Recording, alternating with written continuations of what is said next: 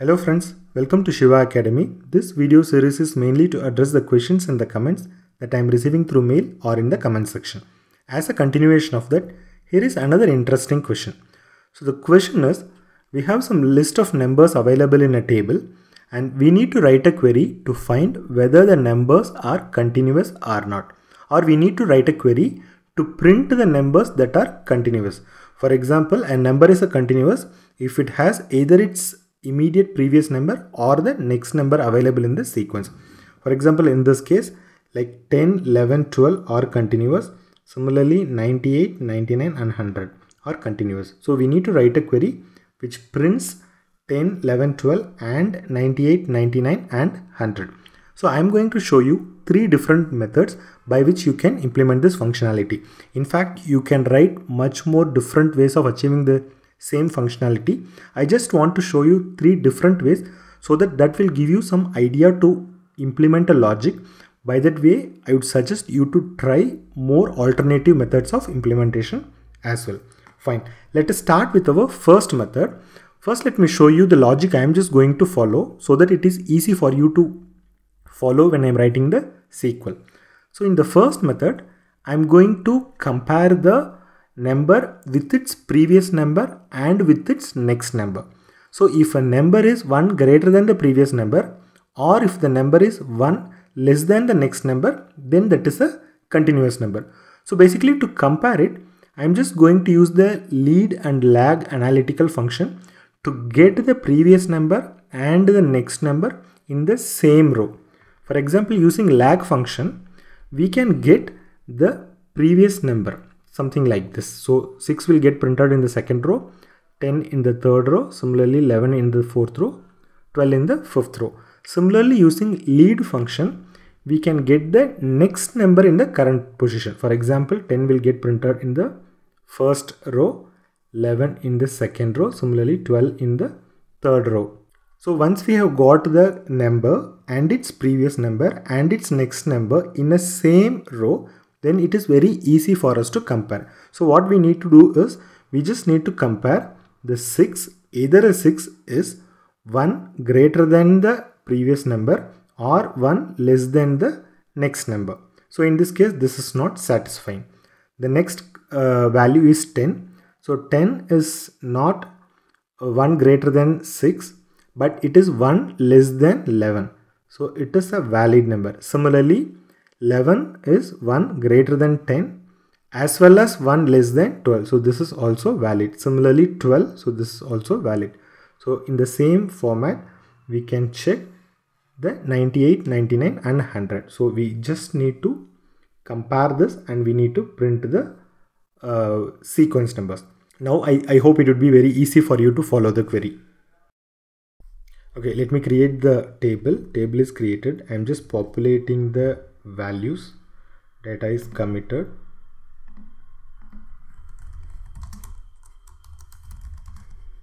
First let me query from the table. So let me query. The column name is c.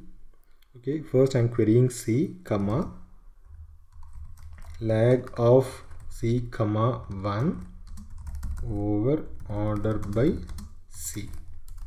Okay so this will give us the previous value. So let us give uh, alias like prv just for understanding i'm giving prv that is the previous. Same way i'm going to use the lead analytical function to get the next number. Okay now if you can see here we got all the previous numbers of a number as well as the next number. Okay now let me make this as a inline query. Let's say select star from. We'll make this as inline view. We just need to put a where condition saying where c is one greater than previous. So i'm just saying previous one.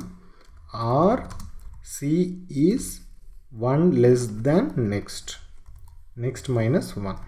So this will give us the numbers that are in a sequential format. Anyway, we are not interested in printing the previous and the next value. So we just can print only the C from the inline query. So this will give us the numbers that are continuous.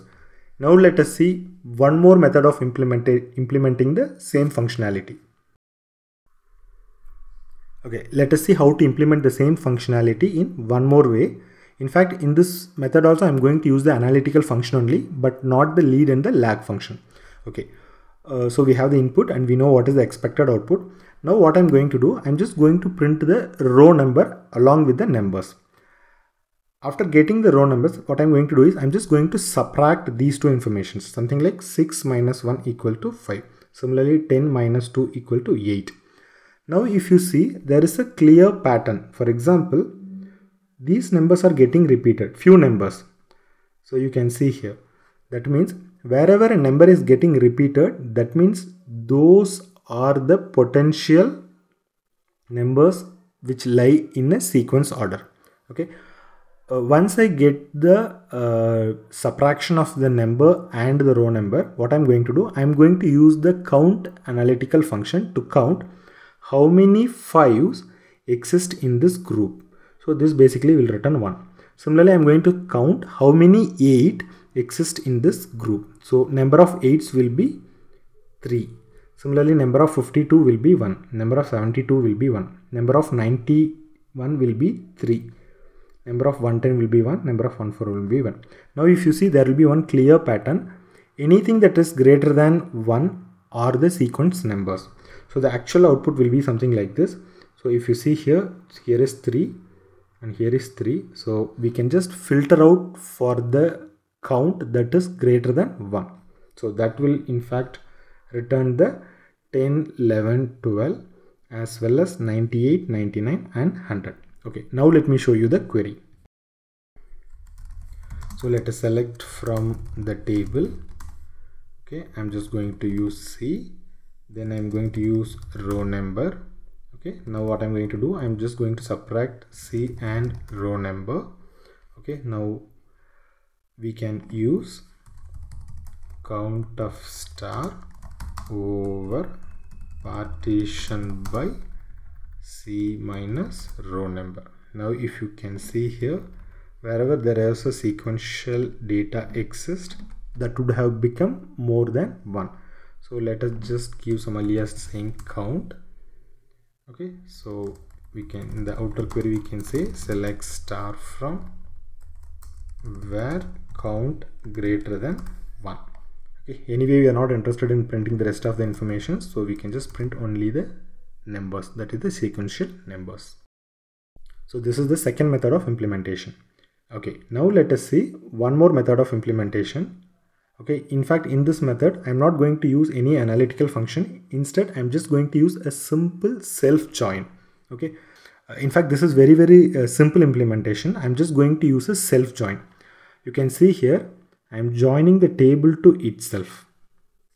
Saying that I've taken like two copies. One is called a T as alias C. Another one is also the same table T with alias P.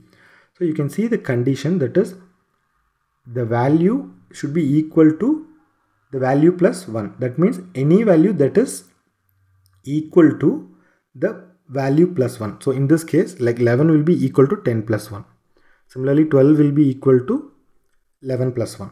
So similarly, 98 will be equal to, sorry, 99 will be equal to 98 plus 1. 100 will be equal to 99 plus 1. So that's why if you can see here, we just got 11, 12, 99, 100. Same way if you can write another query, exactly same, instead of plus 1, I just put a minus 1 here so that we will get 10, 11, and 98 99 okay uh, this is so simple a simple self join i have used it here. Okay now we have got like two set of uh, output. What i'm going to do i'm just going to put a union of both so that we'll get the expected output. So when we get a when we uh, do a union of both the queries we'll get the expected output. Okay so this is the third method of implementation so here is our first query. Similarly, here is our second query. So I'm just going to use a union so that this will remove all the duplicates and will just give the result in a sorted order. Uh, here is a quick summary of all the three queries, whatever I have showed. In the first query, we are just using the lead and the lag analytical function. In the second query, also I'm using the analytical function that is count.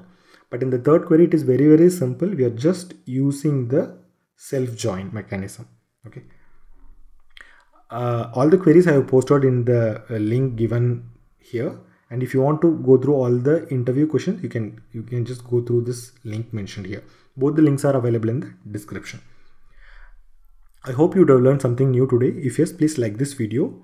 Uh, subscribe and stay tuned for new future video, interview question, SQL practical question and concept videos. If you want any questions to be answered, you can post it in the comment section or you can post to this mail ID. And thanks a lot for watching this video.